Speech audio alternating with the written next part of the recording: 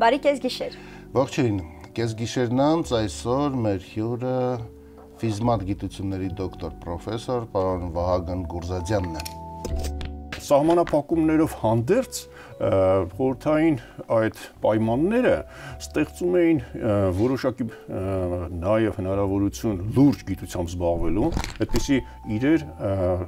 մի քանի հատ են, այսպես մատերիալը կարելի հաշվել երկրագնդում ընդհանրապես, եւ դա գտնում է Հայաստանում։ Մեկ ներարկումը կարող է արժենա 1 միլիոն դոլարից ավել։ Այդպիսի պրեպարատներ են իրենք ստեղծում։ Հայաստանում օրինակ կարելի է ստեղծել մի ասեղ, որը լինի աշխարհում ամենալավը հիմա։ Դժվար, չէ։ Արի, արի, մեր տղա Մոսկվայում եմ իմանում, որ լավ գործեր ես անում։ Ասա ինչի կարիք ունես Բարև ձեզ։ Բարի կեսգիշեր։ Բարև ձեզ։ Պարոն Գուրզաջյան, ինչպես եղավ, որ ցած տիեզերքից իջակ երկիր։ Միանգամից մեր տաղավար։ Ընդհանրապես բարի բոլոր իմաստներով, ասենք, տիեզերական հետազոտություններից հետո գալ մարդկային ամենաշատ տարածված հիվանդությամբ զբաղվել, հա, քաղցկեղով մի քիչ իհարկե բարձր է հնչում քաղցկեղով զբաղվելը, բայց ես նշեմ այսօրվա գիտության բնորոշ հատկանիշներից մեկը։ Դա այն է, որ մի կողմից իհարկե տեղի ունենում տվյալների հսկայական կൂട്ടակում դա փորձարարական տվյալների, դա դիեզերքից եկող ազդանշանների տվյալների, մարդու մարդու կազմության, այդպես ասենք, տվյալների հայկեն գենային ստրուկտուրայի կազմության եւ մի կողմից դա, մյուս կողմից մշակվում են տեղեկատվական տեխնոլոգիաների այս զարգացմանը համընթաց մշակվում են եւ զարգացվում են ստեղծվում են նոր մեթոդներ այդ տվյալների մշակման մի կողմից տվյալների ծավալը հսկայական է, մյուս կողմից նրանցից այդ տվյալներից ստանալ տվյալ ազդանշանը, այսինքն անջատել այն ազդանշանը, որը փնտրում ենք, դա դառնում է այսպես հիմնարար խնդիր եւ մի բնորոշ հատկություն էլ կա այսօրվա գիտական հետազոտություններին, որ այդ իմաստով տարբեր բնակավարները դառնում են իրար հետ առնչված։ Օրինակ, եթե ուսումնասիրում ենք ազդանշանը, որը գալիս է տիեզերքից, ապա այդ ազդանշանը իր մեջ բանակում է շատ ենթազդանշաններ, աղմուկներ, տարբեր ավելցուկներ, ասենք այդպես։ Եվ ստանալ արտածել այն ազդանշանը այդ աղմուկների մեջից, որը փնտրվում է տվյալ, ասենք, աստղի, գալակտիկայի եւ այլն։ Հիմա ասենց այդ ազդանշանը քաղցկեղի հետ ինչ առնչություն ունի։ Այո, հիմա ես թե չէ մենք արդեն աղմուկների մեջ ենք։ Այո, մոտենում ենք։ Հիմա մարդու գենը դա թվային տեսքով որոշակի շղթա է, որը ունի 4 այդպես տար, ասենք, եւ դրանով դա կազմում է մոտավորապես 19 միլիարդ այդպիսի շղթա է, այդպիսի միլիարդ բաների թվերի, այո, նիշերի, նիշերի եւ այդ ազդանշանում, այդ շղթայում կա աստորեն ամբողջ ինֆորմացիան տվյալ անձնավորության ձեր, իմ որևէ հանձի վերաբերյալ։ Եվ արդեն իհարկե այդ շղթայի հետազոտությունները այսպես լայնածավալ կերպով արվում են եւ լաբորատոր պայմաններում եւ թվային մեթոդներով եւ այլն, որովհետեւ օրինակ, որ այնտեղ կան որոշակի տիրույթներ, այդպես կոչված սոմատիկ տիրույթներ, որոնք պարունակում են ինֆորմացիա տվյալ անձի քաղցկեղի վերաբերյալ։ Դա հայտնի փաստ է եւ դա այդպիսի տիրույթների հետազոտումը, Հիմա այսինքն պետք է կարողանալ կարդալ այդ ինֆորմացիան։ Կարդալ Այո։ եւ Ճիշտ նաեւ կալ։ ճիշտ այդպես։ Այսինքն կան որոշակի մեթոդներ, որպեսզի գտնվեն տվյալ շղթայում այդ տիրույթները Ը, գտնվելու դեպքում ուրեմն դատավճիռն է, այսպես ասած եզրակացությունն է տվյալ հիվանդության, տվյալ ախտանիշի։ Հարցն է ինչպես դա գտնել, ինչպես միարժեք ձևով դա գտնել, որովհետև հասկանում եք, չէ, այսպես դիագնոստիկ մեթոդների տեսակետից դա հիմնական հարցն է։ Ստանալ այդ թվային շղթան եւ թվային շղթայում գտնել այդ այդ տիրույթները։ Հիմա կոնկրետ ձեր հայտնագործության բուն եւ դա արդեն պատենտավորվել է, չէ՞։ Ստացել է արտոնագիր։ Այո, ամերիկյան պատենտ ենք մենք ստացել, որովհետև ուրեմն մենք կիրառել ենք մի մեթոդ, որը ուրեմն ռուսական երկու խոշորագույն մաթեմատիկոսներ Անդրեյ Կալմագորով եւ նրա աշակերտ Վլադիմիր Արնոլդ նրանք ստեղծել էին մաթեմատիկական ապարատ շատ լայն տիպի, այսպես ասենք, մաթեմատիկական համակարգեր ուսումնասիրելու համար։ Կալմագորովը դա 33 թվականի իր աշխատանք էր, որը հրատարակել էր իտալական Անցած դարի։ անցած դարի իտալական ամսագրում իտալերեն լեզվով ընդ որում այդ ամսագիրը ատուար է, այսինքն ֆինանսական ամսագիր էր ը, բայց մեթոդը շատ ընդհանուր է, շատ հզոր եւ այնպես ստացվեց, որ մենք այդ մեթոդը կիրառեցինք տիեզերքից եկող ազդանշանների հետազոտման համար եւ ես աշխատակիցները, իմ աշակերտները, մենք հրատարակեցինք տարբեր այսպես հոդվածներ, մասնավորապես մենք ի հայտ բերեցինք մի տիրույթ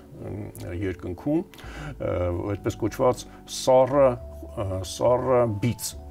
cold spot կոչվող տիրույթներ Խորոչները քիչ էին, հիմա ընել սառը։ Այո, սառբից։ Ուրեմն տիեզերքը լցված է մի ճառագայթումով, որը կոչվում է տիեզերական մնացորդային ճառագայթում, որը մնացել է տիեզերքի վաղ շրջանից, որը եղել է ավելի տաք։ Մի հատ չհեռանանք Հազիվ Կալմագորովին բռնել ենք, հա, պարոն Գուրզադյան։ շատ Եվ լավ։ դուք ստեղծեցիք ըստ այդ տեսության հիման վրա Կալմագորովի։ Այսպես, ես եկեք այդ այդ ինձ մեկ վարքյան տվեք, Հա, մեկ ձեր շղթան Ը, չքանդենք։ Ես ավարտեմ այդ այդ միտքը, ուրեմն մենք երկնքում այդ ազդանշանները, այդ մնացորդային ճառագայթման ազդանշանները հետազոտելով այդ մեթոդով գտանք մի տիրույթ, որը համապատասխանում է շատ մեծ, այդպես կոչված դատարկության, այսինքն մի տիրույթ է, որտեղ գալակտիկաների քանակը զգալիորեն փոքր է, քան սովորական ը, սովորաբար տիեզերքում։ Այդպիսի տիրույթներ հայտնի էին, բայց ոչ այդ այդ տրամագծի, այդ մեծության։ Եվ մեր մենք երբ որ դա հրատարակեցինք մ, տ- 2014 թվականին, երկու շաբաթ հետո մեզնից ամերիկյան խոշոր համագործակցությունը եկավ ճիշտ նույն եզրակացության լրիվ ուրիշ մեթոդներով, գալակտիկաների բաշխման հետազոտությամբ մեր վրա հղում անելով։ Այդ իմաստով եւ այդ արդյունքը հիմա նշվում է որպես ամենախոշոր տիեզերական կառուցվածքը, ստրուկտուրան, որը հայտնի է մարդկությանը։ Ինչով է դա կապված քաղցկեղի հետ։ Այո։ Ուրեմն ճիշտ նույն մեթոդը կիրառեցինք մենք ոչ թե թվային ազդանշանին, որը գալիս է տիեզերքից, այլ մարդու գենոմի այդ շղթային։ Եվ ուրեմն այդ հետազոտությունը մենք կատարեցինք ամերիկյան Դյուք համասարանի մասնագետների հետ Դյուք առաջատար համասարաններից է, իսկ նրանց գենոմային կենտրոնը դա ուղղակի առաջինն է կամ առաջիններից մեկն է աշխարհում։ ը, այդ կենտրոնի ղեկավարների հետ, այսինքն նրանք, որոնք հասու էին այսպես կենտրոնը հետազոտական եւ ը, անմիջապես կլինիկան։ Կլինիկան շատ կատարյալ, այսպես տանիքին կա ը, ուղղաթիռի վայրեջքի այնտեղ, որովհետեւ անմիջապես այնտեղ այդպես կլինիկական հետազոտությունները եւ բուժումները ուղեղի քաղցկեղի հետ կապված, այդպես կատարվում են շատ-շատ բարձր մակարդակով, այդպես ինձ ասացին, որ մեկ ներարկումը կարող է արժենա 1 միլիոն դոլարից ավել այդպիսի պրեպարատներ են իրենք ստեղծում եւ հետազոտություններ են կատարում, իրարում եւ իրենք ունեն իրական հիվանդների տվյալները ասեն որ կիրառել օգտագործել իրական տվյալները դա շատ բարդ հարց է նաև իրավական տեսակետից որովհետև հասկանալի է դա որոշակի գաղտնիության կա Եվ ի վերջո անձի հետ կապված։ իհարկե իրենք բայց որովհետև Իրենք իրենք 1 չէին միլիոնով էլ ամեն մարդ չի գալիս, չէ՞։ Ինչ որ որոշակի մեծահարուստները պետական գոր այդտեղ ինձ ասացին որ բուժվել է օրինակ Էդվարդ Քենեդին, որը ուներ Ը, Եվ ը, մյուս կողմից երևի դա շատ մեծ գումար չի նաև ը, եթե ռադիկալ փոփոխություն կարող է լինի ուղեղի քաղցկեղում, որը իրենց ասելով սովորաբար միայն վիրաբուժության մեթոդներով է լուծում։ Նորից ես ուզում եմ ասեմ, որ այդ աշխատանքը կատարվել է ես ոչ թե մտել եմ քաղցկեղի ասպարեզ, այլ ես կատարել եմ իմ պրոֆեսիոնալ մասը, իսկ իրենք մնացած, այսինքն իրենց տվյալները, որոնք ունեին կոնկրետ 30 հիվանդի իրական տվյալները, նորից եմ կրկնում, դա ոչ թե մոդելավորում էր, այսինքն ստեղծված Ձեր մեթոդը կիրառել են արդեն Այո, պրակտիկ։ մենք կիրառեցինք միացյալ աշխատանքը ուրեմն ես առաջի հեղինակ, ինձնից հետո երկրորդը իրենց ղեկավարը եւ մնացածները հրատարակվեց բրիտանական թակավորական ընկերության ամսագրում, որը համարվում է ամենաբարձր այդպես գրախոսվող հեղինակություններից ոչ միայն այդ բնակավարի տարբեր, այսինքն դեռ հրատարակվում են աշխարհի կարևորագույն արդյունքները որևէ բնակավարի։ Եվ հետո մենք այդ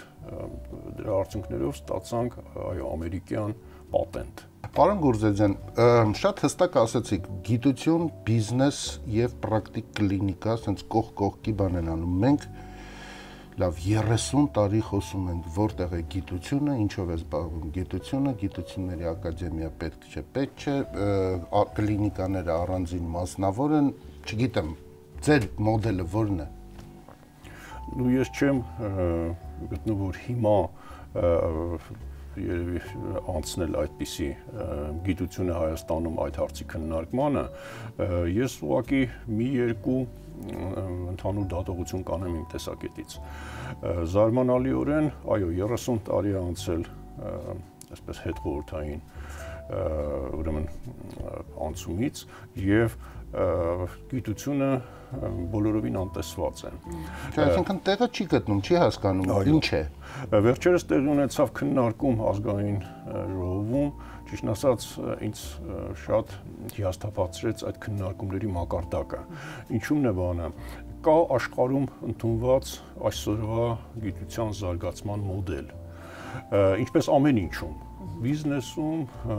արդյունաբերությունում եւ այլն ամենտեղ կա մոդել։ Շատ դեպքերում մեզ պետք չի ստեղծել մի բան, որը որ աշխարհում լավ հայտնի է, Եվ արդեն կա ստեղծված, Իհարկե, ես գոնե իմ իմ փորձով ասեմ, որ ես եղել եմ 6 տարի եվրոպական գիտխորհրդի անդամ դա գոչվում է Euroscience Governing Board Ստրասբուրգում եւ այնտեղ 15 հոգեանոց այսպես գիտխորհուրդ է որտեղ քննարկվել են քննարկվում էին ոչ միայն եվրոպական գիտության զարգացման տենդենսները, հեռանկարները, բոլոր այսպես որոշումները եւ այլն ներկայացվում էին ուրեմն Բրյուսելին։ Պարոն Գուրզաջյան, իսկ գուցե ուղղակի Հայաստանը էլ գիտական երկիր չի կարող լինել։ Մնացել է ընդհանրապես տպավորությունը, հիշողությունները, որ միշտ ասում ենք, չէ, մեր գիտական ուժը, մեր Դե գիտական դա էլ բան ինքը- 40 թվականին սկսվեց 88-ին վերջացավ, վերջ։ որովհետև նորից այն աշխարհը շատ արագ փոխվում է։ Գիտական աշխարհը նույնպես, գիտական աշխարհի աշխատանքների սկզբունքները փոխվում են։ Ասում եմ, ես կարող եմ անverջ օրինակներ բերել, ինչպես է տարբեր երկրներում Շատ լավ։ Հիմա մենք չենք կարող թոթափել այդ բեռը ու հանգիստ ապրել, Դե, էլի, ը, մարդավարի։ տեսեք ինչպես է, կա էլեմենտար հակասություններ։ Օրինակ, ասվում է բարձրաձայն, որ Հայաստանում կա կամ 5 թե 6000 գիտաշխատող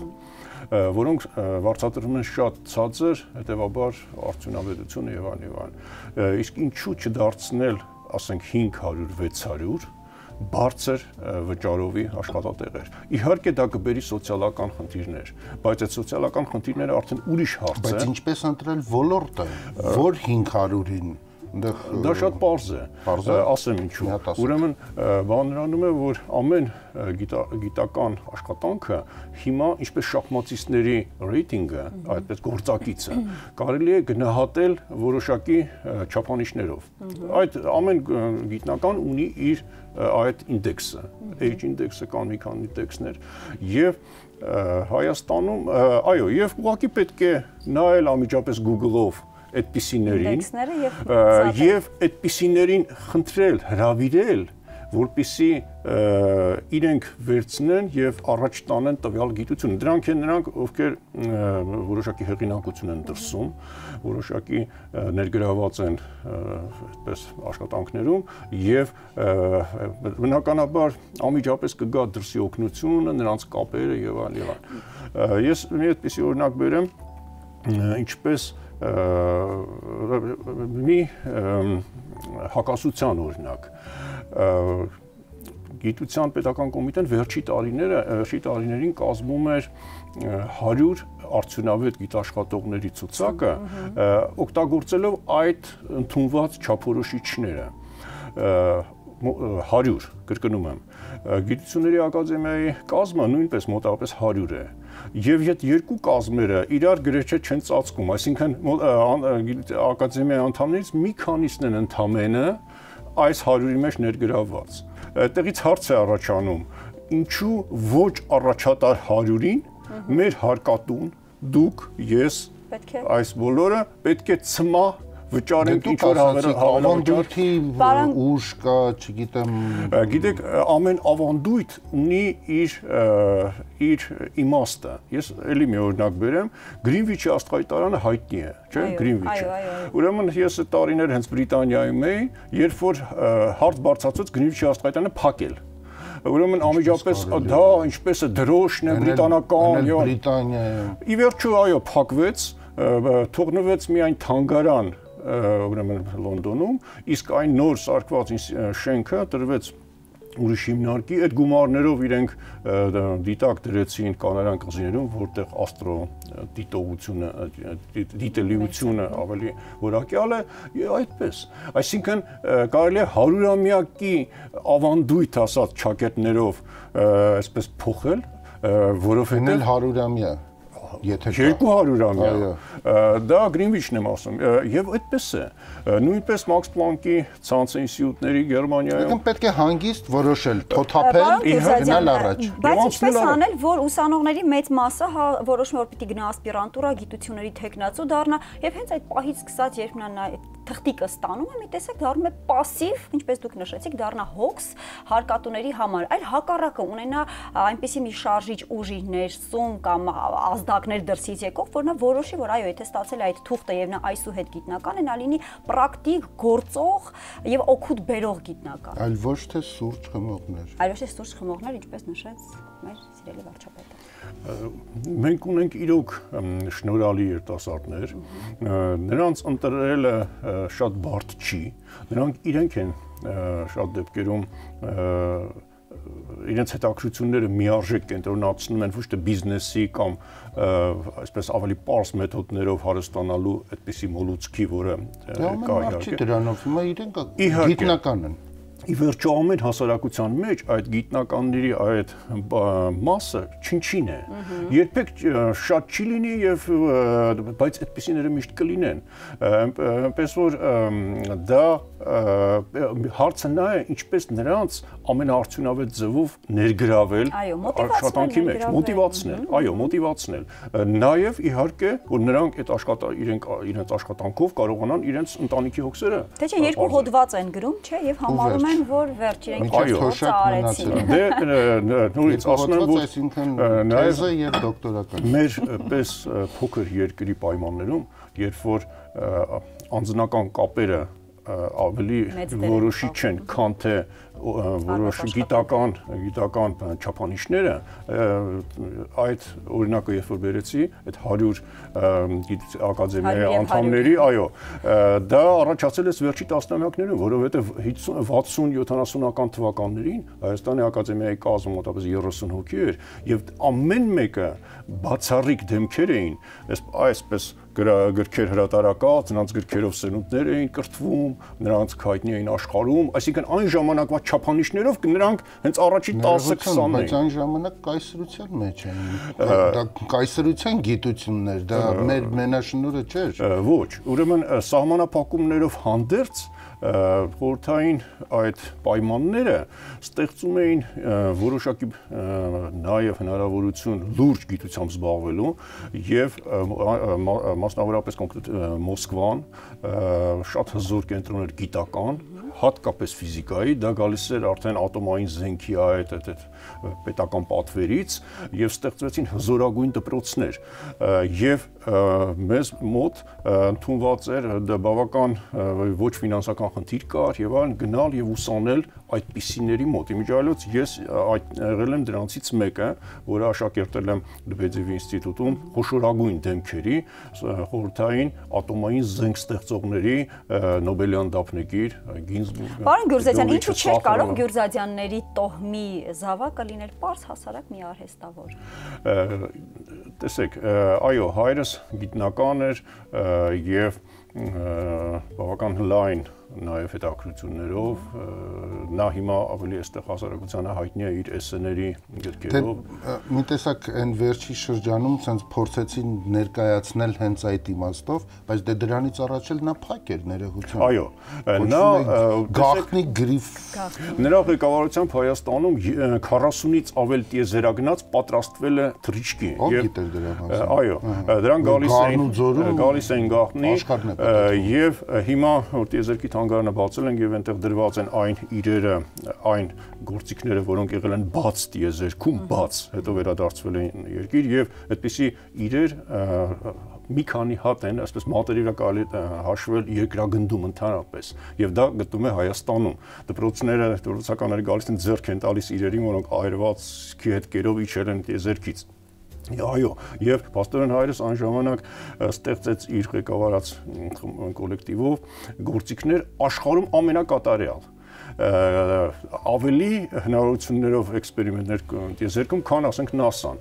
Գիտեք, հիմակվա չափանիշներով դժվար է դա գնահատել, որովհետև Հայաստանում օրինակ կարելի է ստեղծել մի ասեղ, որը լինի աշխարհում ամենալավը հիմա։ Դժվար, չէ՞ այն ժամանակ ստեղծում էր այդպիսի գործիքներ, այդպիսի սարքավորումներ եւ այդ եզերագնացները գալիս էին այստեղ,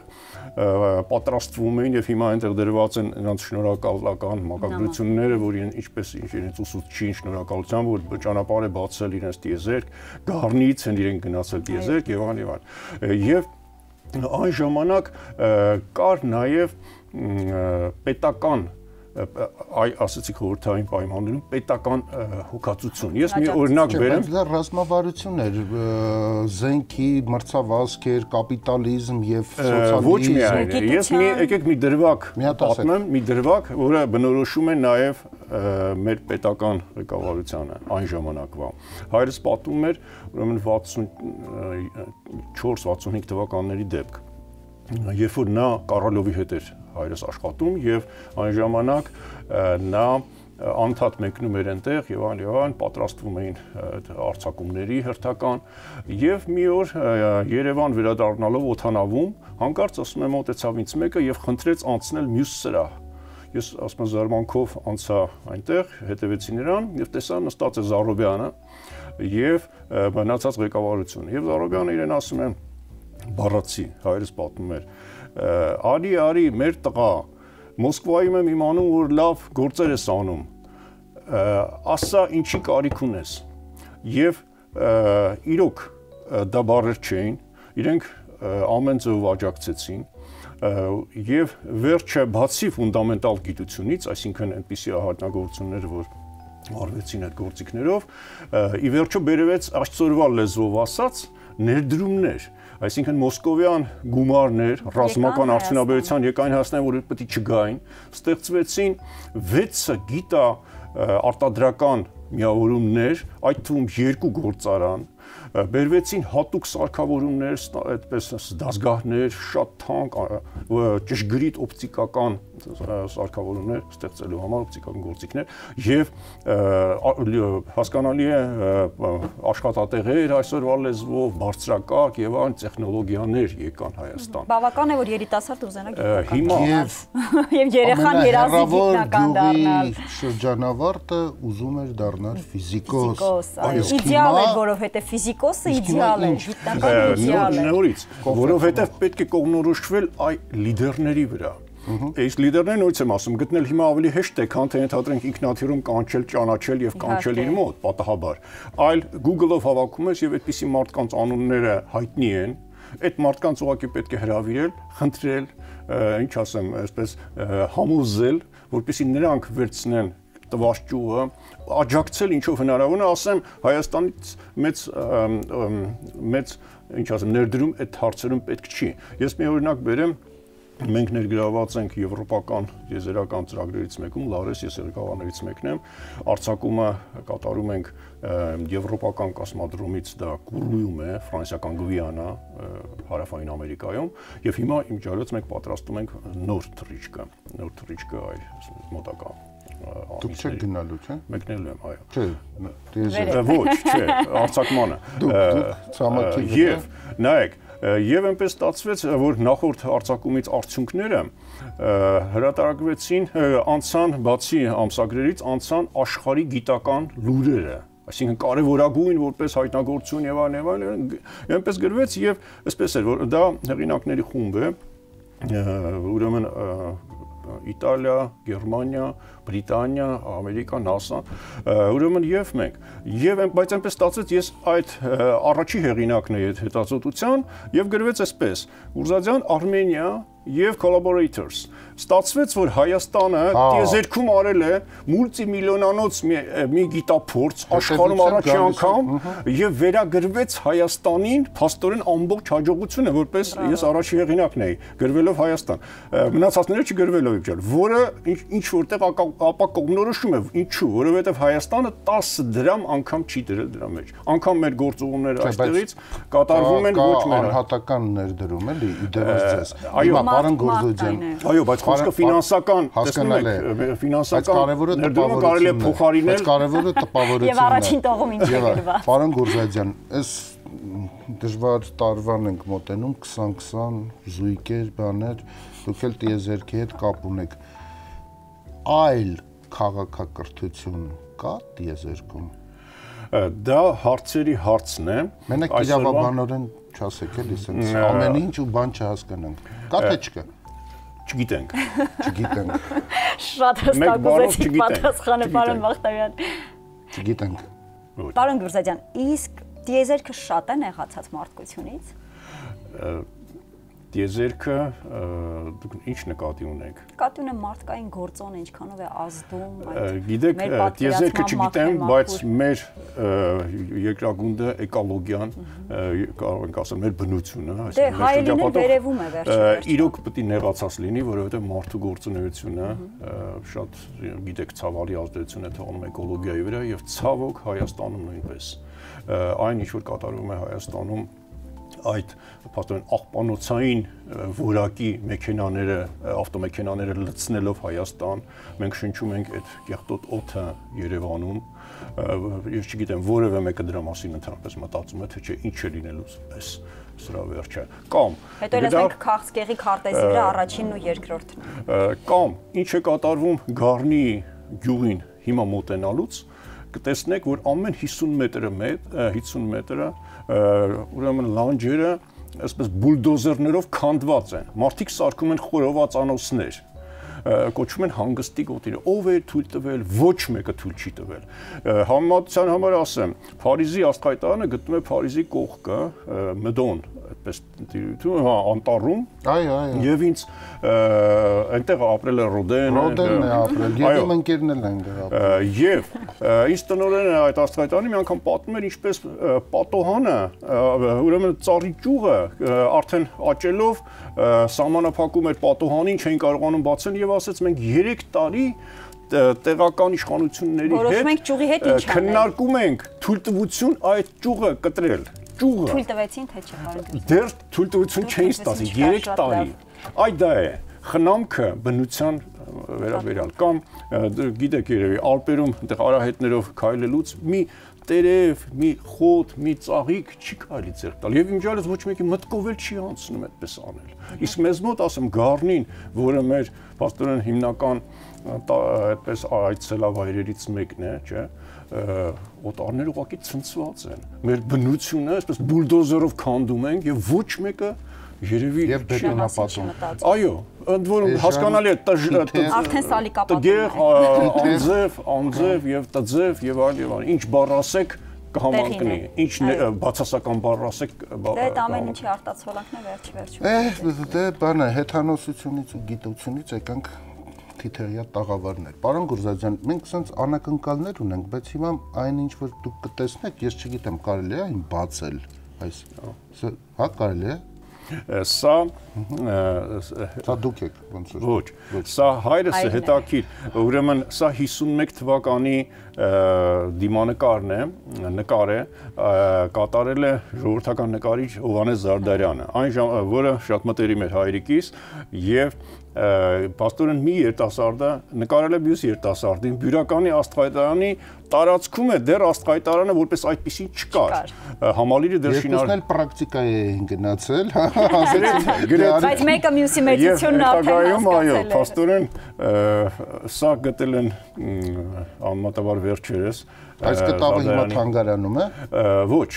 Զարդարյանի Զարդարյան։ հավաքածուում իմիջայլոց անցյալ տարի նրա 100-ամյակն էր Զարդարյանի ցուցահանդեսներ եւ այլն եւ ալբոմներ եւ այդ նկարը ընդգրկված Եվ երկար ժամանակ ընտանիքը չգիտեր, չէ՞ որ այս նկարը կա նկարել է Զարդարյանը։ Կարծեմ, այո, համենայն դեպս մենք բոլորը տեղյակ չենք հայրս էլ դրա մասին երբեք չէր ասում եւ Բոլոր ժամանակների Հայաստանը Գ հատոր ես կարծում եմ որ ձեր ընտանիքի մասին այստեղ ծավալուն նյութեր կլինեն ահա գիրքը որը ռեժիսոր Արսեն Աղաջանյանն է փոխանցում եւ ձեր գիրքը Շնորհակալ եմ, ես փոխանցում եմ հաջորդ ձեր հյուրին, հա- հայրիկիս գիրքն է, SN-երի ժողովածուներից մեկն է, տարբեր արվեստի, գիտության, պատմության եւ այլ եւ իհարկե ամբողջապես տոգորված է հայրենասիրությամբ։ Շնորհակալություն շնորհակալություն պարոն Գյուրզադյան հաճելի զրույցի համար։ Այսպեսին էր պրոֆեսոր Գուրզադյանը կես գիշերն անց Բարի գիշեր։ կհանդիպենք